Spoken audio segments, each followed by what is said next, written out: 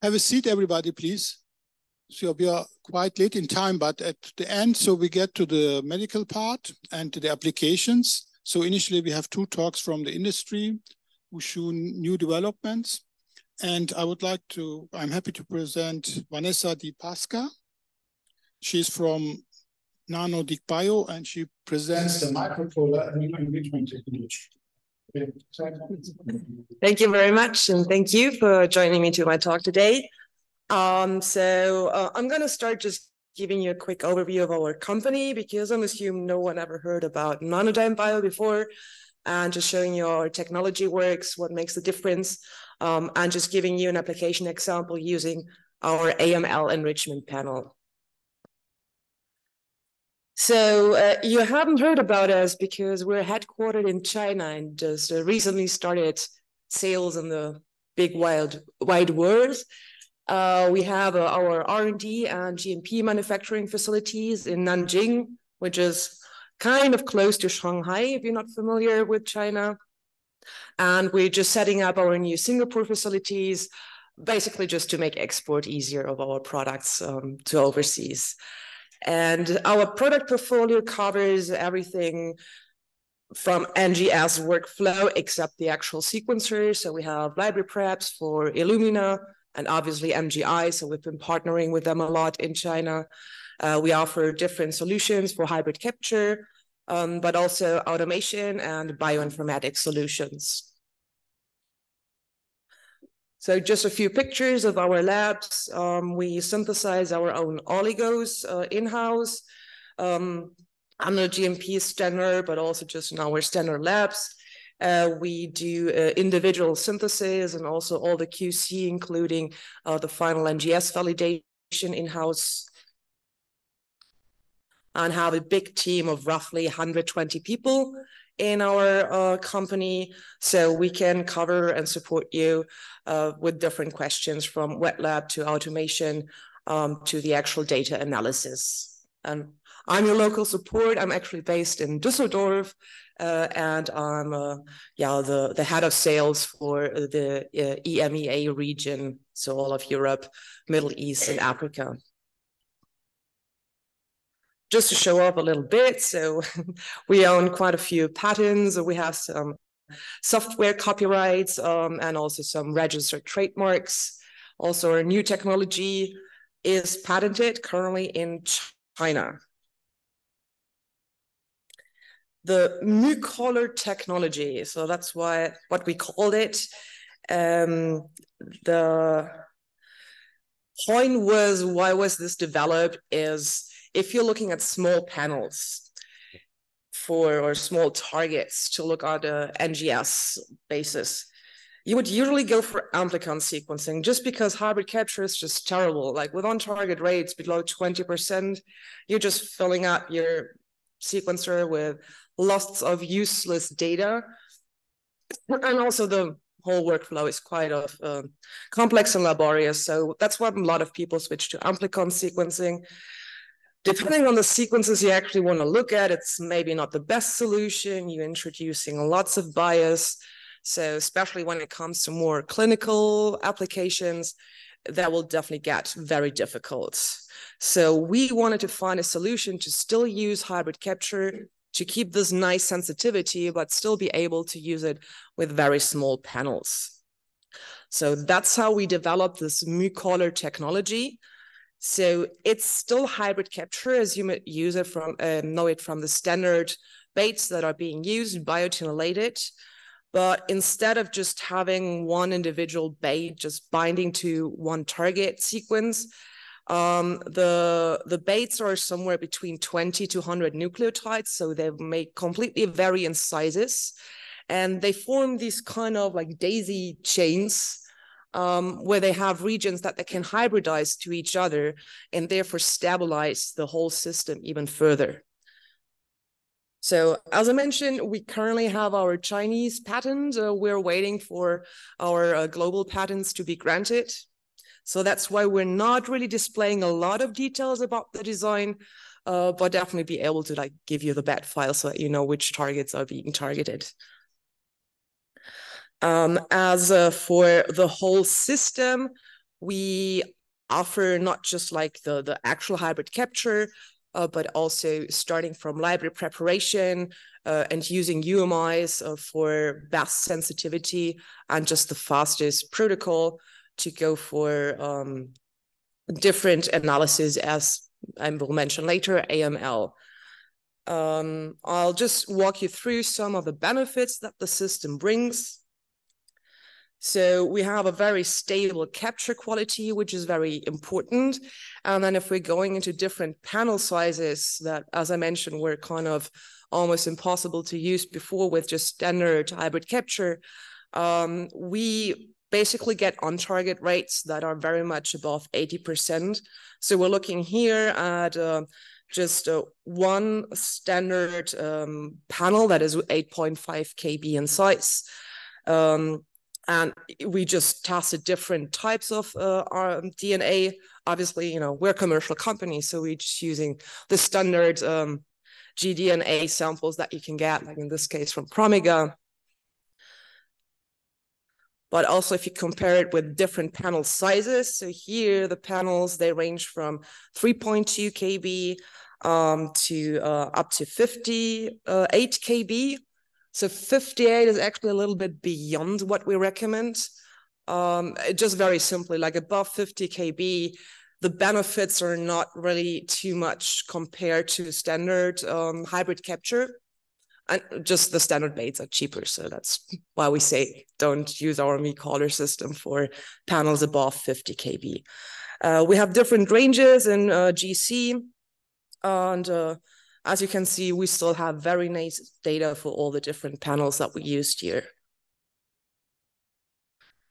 Also for the low background noise or to reduce that, um, I don't think I have to go too much into detail here about using UMIs. Um, that brings you just uh, an extra step, um, cleaning up your DCS.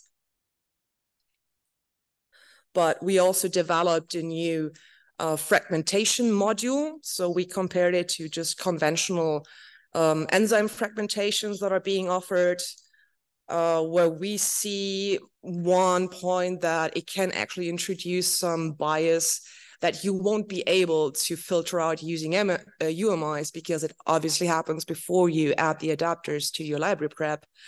Um, we also compared the standard sonication where uh, we see that with the breaks that happen within the DNA, um, you actually get rid of these ends of your fragment at the end when you convert the library.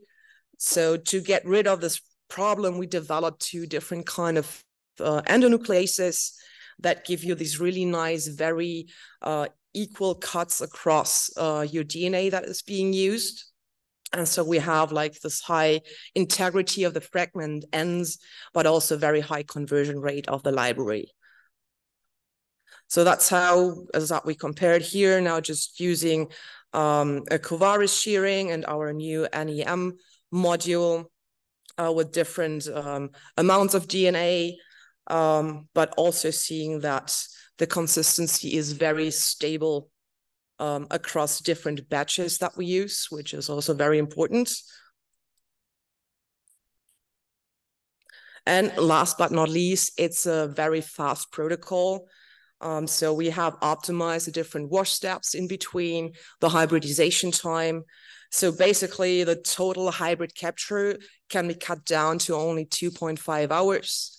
If you take into account some additional library prep before and after, you can easily do you know, you set up within one day and just put the samples on the sequencer. So um, as an example, um, as I mentioned, we now have different panels kind of off the shelf for our μCaler, but we can create any kind of custom panel that you want. Um, our AML panel is roughly 42.5 KB in size. And to just demonstrate uh, how well it works, uh, we use again some standard uh, reference standards um, that we mix in different ratios just to mimic different uh, allele frequencies. And here just some standards from the sequencing run um, that we can see what is the on-target rate, mapability, stability, depth of coverage. Um, so sequencing this on a NovaSeq 6000.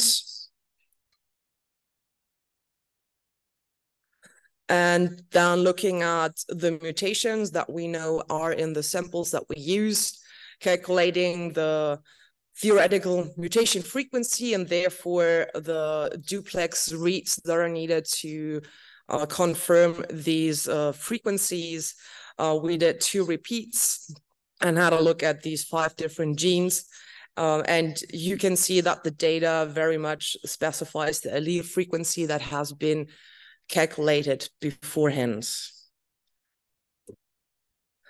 So as a summary, we just tried to make a hybrid capture for small panels A feasible and B just more convenient, faster, um, and especially more stable within lot to lot and also uh, for different users to not include too many steps so that you can reduce the errors in there.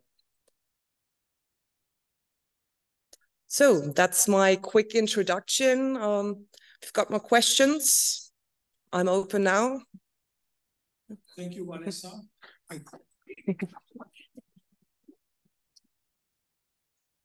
So I think now genomic diagnostics, especially in uh, oncology, has been widely established, and the patients and also the treating physicians becoming more and more impatient. You know, they want to have the result as soon as possible. So time matters, and the enrichment is was a quite a time waster in the past. So questions for Vanessa. I'm happy to talk to you. So I've got a booth here around the corner. So feel free to stop by. Can show you more data. Yeah. So one question: Do you think you can also enrich entire exomes? Would that be feasible and also save time because on on, on the exome? Yeah. Do you plan to? Yeah. Do metagenomics or exome enrichment kits as well in future? Yes. So we also offer this. Uh, so we have our traditional hybrid capture system, which you know is an overnight hybridization, literally takes you two hour, uh, two days just to do uh, the actual hybrid capture. But uh, we have a new system that cuts it down to those uh, two and a half, three hours of uh, hybridization. Mm -hmm. Okay, and also the cost is also an issue because the cap sequencing has become quite on the short read sequencing quite economic, but the enrichment was still costly. So I mean, it, it obviously depends on the panel that you want to use, the targets that you want to target, how many probes we have to synthesize. Uh, but let's say like a standard sample, I guess the most expensive still is like the exome panel. Um, and that gets you easily below 45 euros per sample at our list price with all reagents included. Okay. Obviously, like you have to still pay the sequencing. That's good. So that my question. So you gave us a ballpark number. That's good. Thank you. All right. Thanks. So I think you can ask uh, later some more questions and details. So we'll go on to the next speaker. Yeah.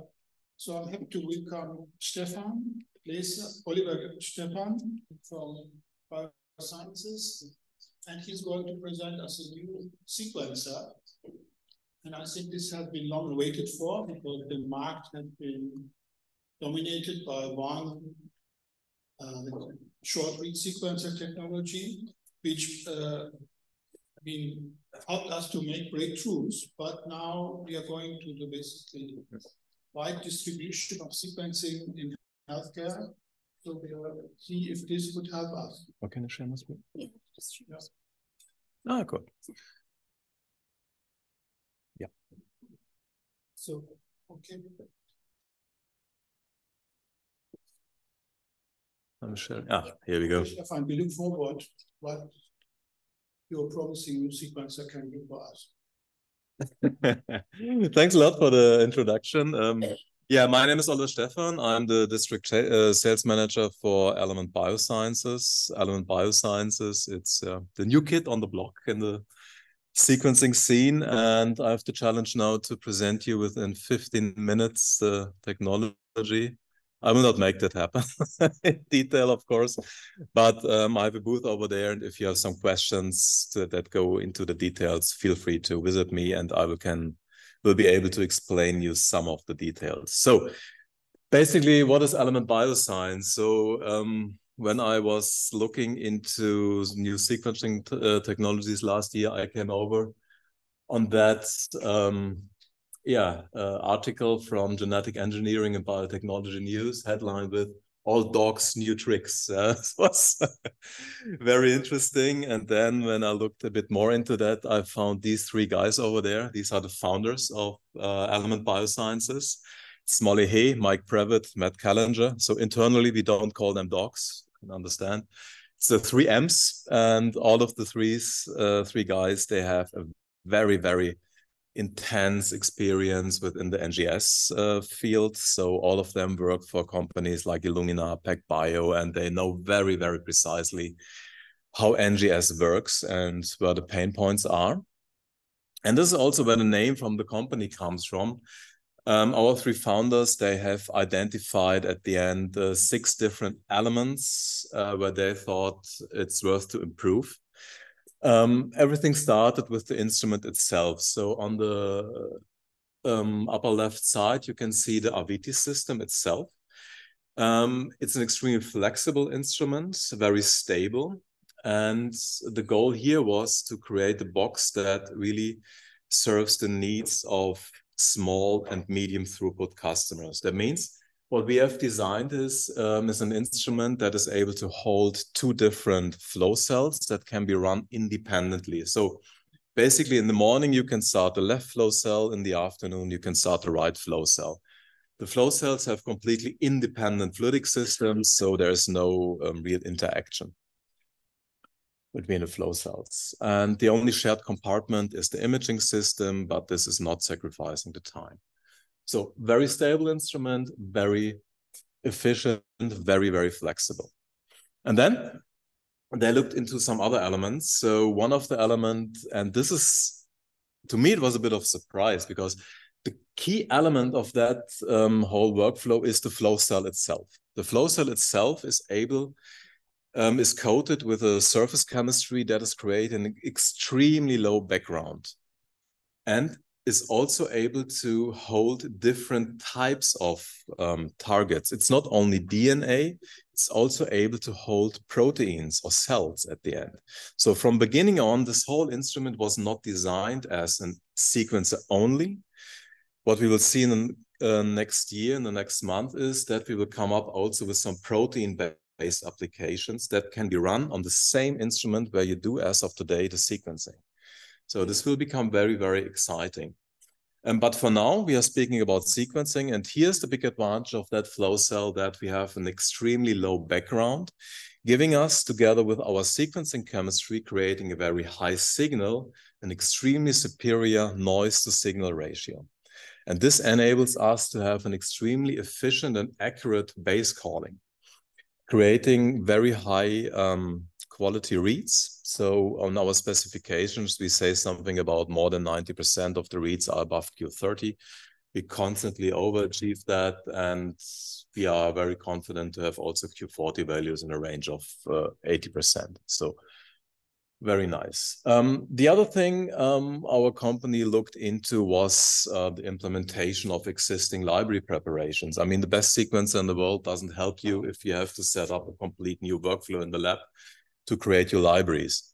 So basically what we came up is a very easy um, and quick um, conversion protocol for existing Illumina libraries. Basically, the message is as long as you have a library with um, a standard P5, P7 adapter, um, you can run it on the Illumina. So without any big challenges here. Um, and the other thing we looked into is the amplification of the different library molecules on our sequencing slide. So Illumina is using a bridge, bridge PCR to, oops, what happened?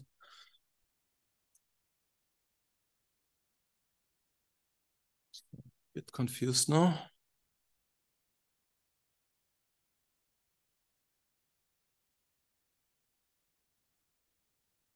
Okay.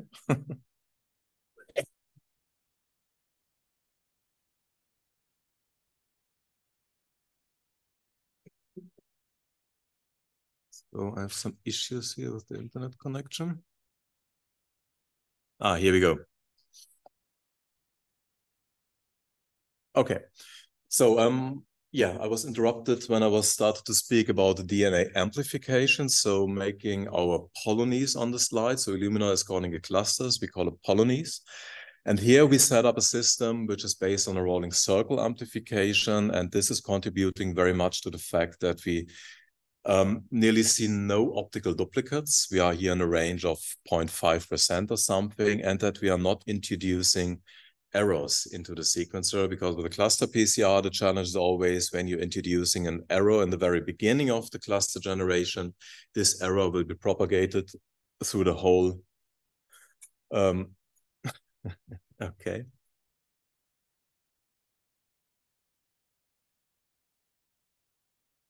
So give me a second. So basically, the, the, the, the, cluster PCR is a little bit um, prone by sequencing errors introduced in a very early stage. And in consequence, um, sequencing uh, PCR errors during the bridge PCRs are, will be showed up in the sequencing data. This is not happening uh, with the rolling circle amplification. Um, during a rolling circle amplification, we are copying over over from the same molecule. And that means that um, even if you are introducing an error, this error showing up in the polony is more or less random uh, and will not be shown up in the data later on.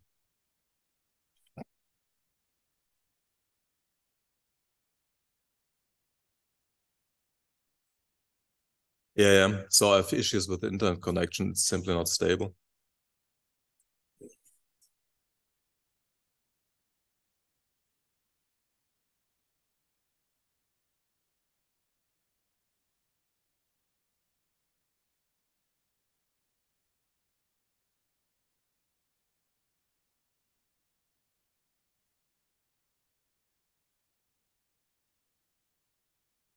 You see the screen here.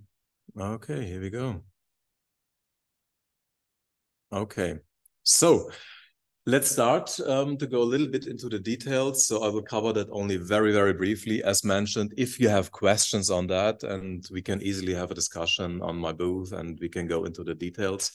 So basically, this is the workflow we are um, offering at the moment for the library preparation to make them compatible with the AVITI. Basically, uh, the vast majority of our customers is using the so-called adapt workflow, which means that you can simply use your existing library prep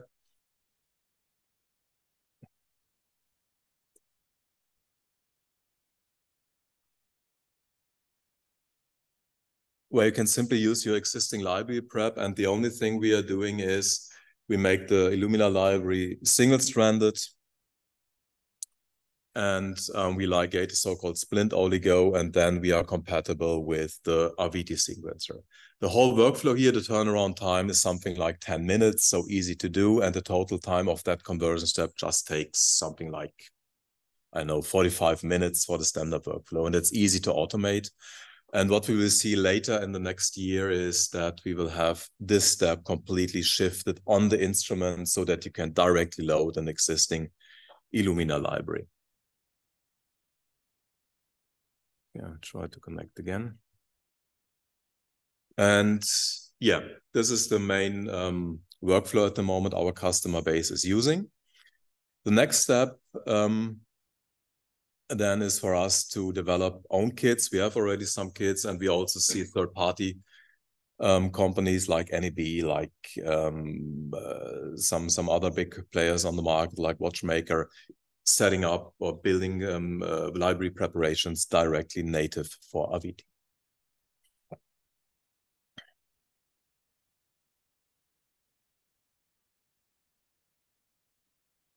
Okay.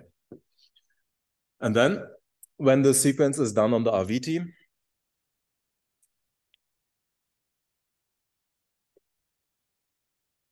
um, the output file is a simple FASTQ.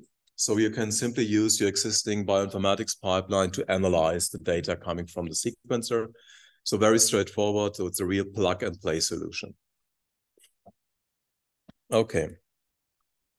So here in the next slide, um, you can see the way we are doing the rolling circle amplification. Basically, um, we put our libraries on our sequencing slide, and then we start with the rolling circle amplification. And then we are copying over and over from the initial molecule, and we end up with something like 1,000 copies of the library molecule on the slide. And then these 1,000 copies are forming a kind of library cloud, and we could, that's what we call um, Polony. this is, okay. The big advantage of this um, this technology is, as mentioned, we don't have PCR errors that we are seeing during the sequencing. And the other advantage is that we don't observe optical duplicates. Um, optical duplicates, as mentioned, are in a range of something like 0.5%. Uh, okay. Uh, no, it would be nice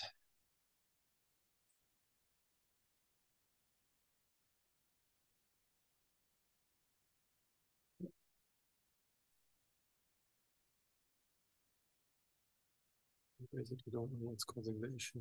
Yeah.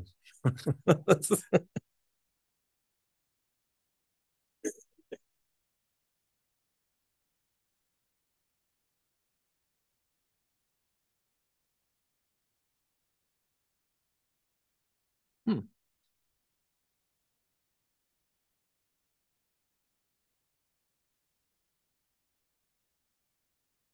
So.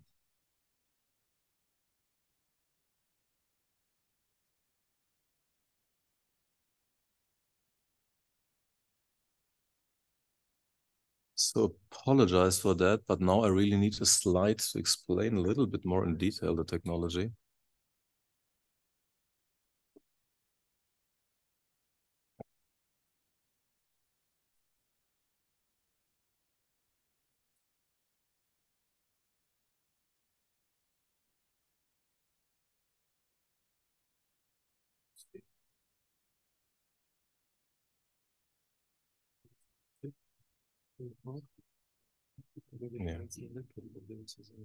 Ja. Techniker meint, bei ihr alles erklären. Ja.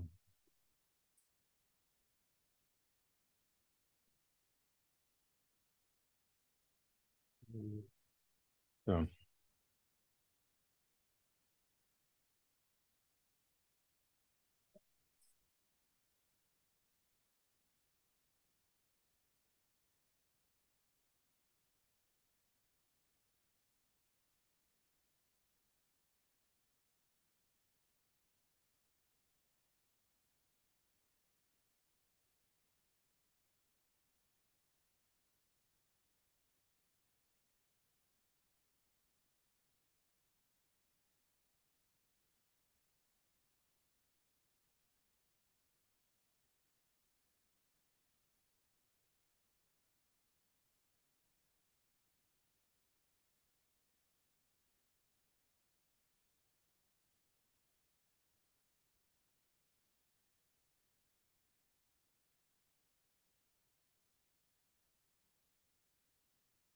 Mm.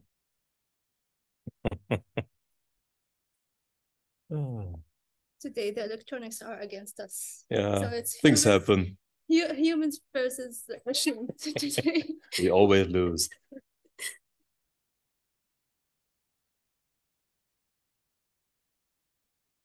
Okay, just let me double check. Here we go. Perfect.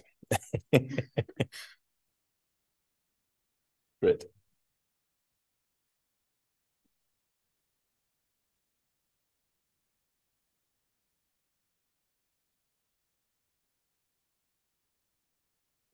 Thank you so much. Let's just try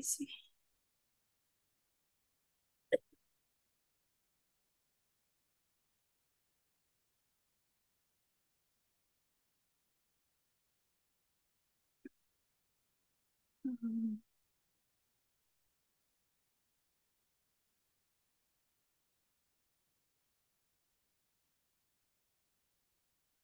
We are there now.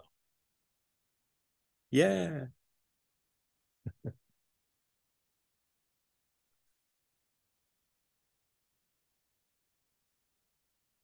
Okay.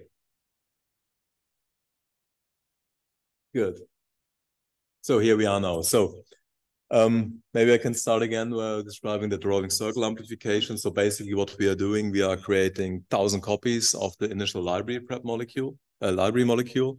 And then we are ending up um, with um, these kind of polonies. So we have a surface primer attached to our slide, and then this surface primer holds this DNA polony or library polony.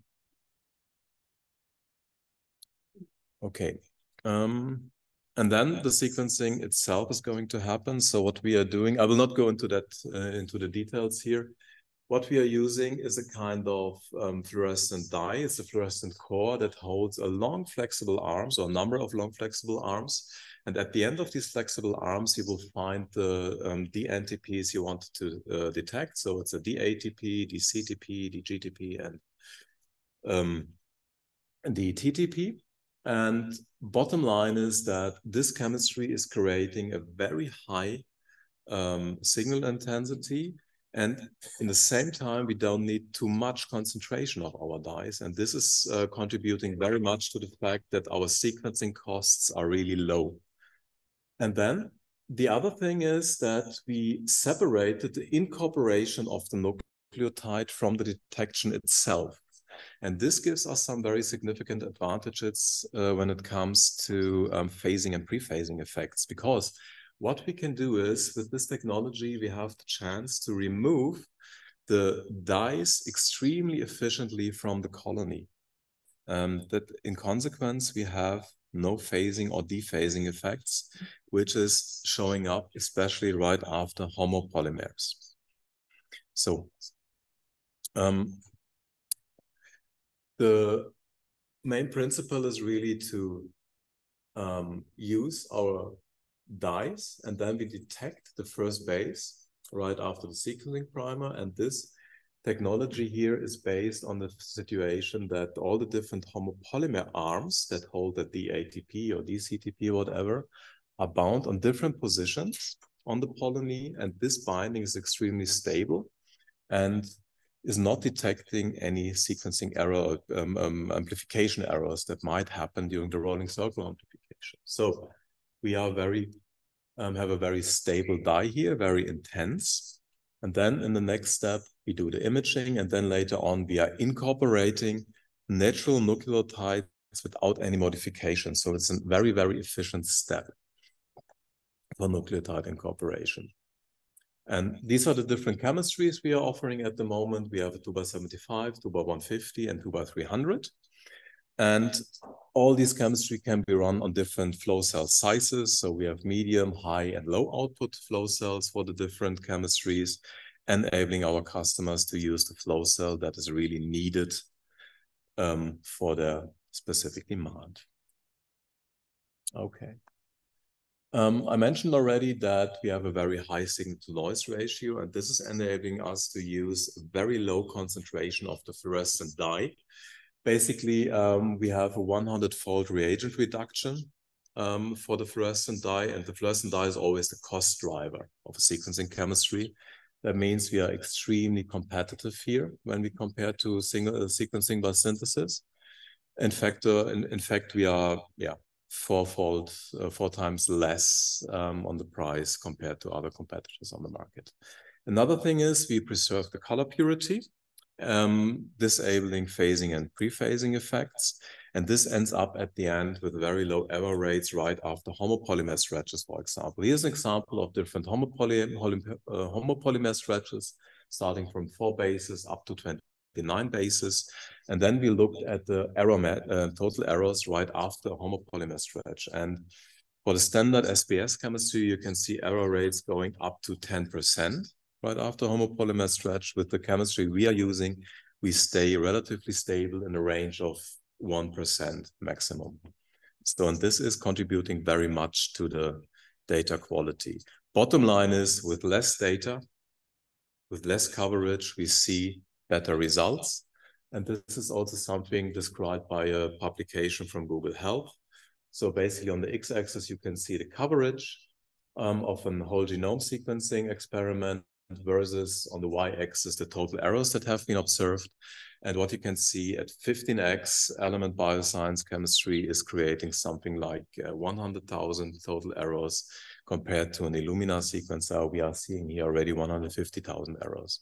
When you go up to 30x, these error total error numbers, um, yeah, come together, ending up with 50,000 approximately. But message here is again, with less sequencing data, you get comparable results. And this is also observed by some other experiments. This is data from MIT, uh, where they sequenced some dog exomes and they compared a 30x whole genome dog um, um, sequencing versus a low coverage. What you can see here is the concordance between the low coverage sequencing experiment with the 30x whole genome in the dog. And in red, you can see the element bioscience data. In black is Illuma, Illumina NovaSeq data. And what is very clear is that the concordance versus from low pass versus um, 30x is very, very high with the element sequencing stuff. This is more obvious when you look only at heterozygous sites. And here again, comparison uh, uh, concordance is very, very high in the range of 98.5%. Summary and outlook. So the box we are offering right now um, provides very high quality data up to more than 90% of Q30, $5.60 per gigabase, which list price, which translates translates to $560 uh, per whole genome. We have a throughput of um, 300 gigabases maximum, and at the moment you can run two flow cells fully independent from each other, giving you a 600 gigabase throughput per run. And very interesting for many customers is that we guarantee the costs of the reagents for the lifetime of the instruments. That means if you buy today, five years time maybe, you still have the instrument and then you will get the price from today. Another thing that was important, we have full ecosystem compatibility. That means that existing Illumina libraries can be run easily on the sequencer.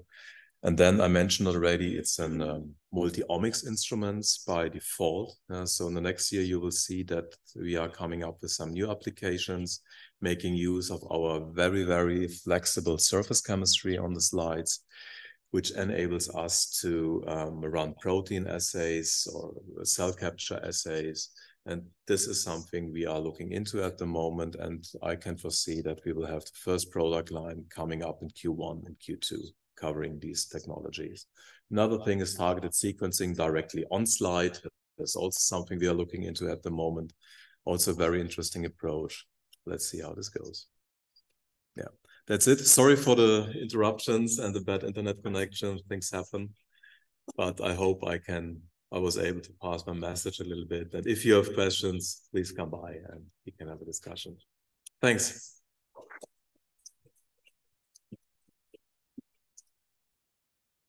Thanks, Oliver. But was you did a great job instead of the despite of the no problem. One question I think we should give him as an award, although we are late in time. Yep. So, uh, first of all, it's very welcome to have new competitors. Um, just wondering whether the, price that's quite compatible comparable to Illumina. Is that something you're actively pushing because that will be a huge selling point? The second one is the variant calling. Climate change is also structural variants. Is that comparison? Um, so especially when you look at um, so there's a great concordance to existing instruments. So when we do the comparison, um, we have um, concordance of more than 99%. So that's extremely comparable. On top, we have the big advantage that during the due to the rolling circle amplification we do, we are able to support insert sizes up to 2 kb. And this gives big, big advantages when it comes to indel calling, pseudogenes, things like that. So that's a very big benefit. And on top, you mentioned it, we are extremely competitive when it comes to price. So we have that low reagent costs uh, with $5.60 per gigabase, which is pretty unique. And this will stay constant over the next uh, years for sure for the lifetime of the instrument so no price increases. And um, the instrument price itself, we are moving here in the range of $289,000. Um, so I think we are competing here very well with all the low and mid uh, size sequencer, benchtop sequencers on the market. Okay, all right. Thank you. Thanks.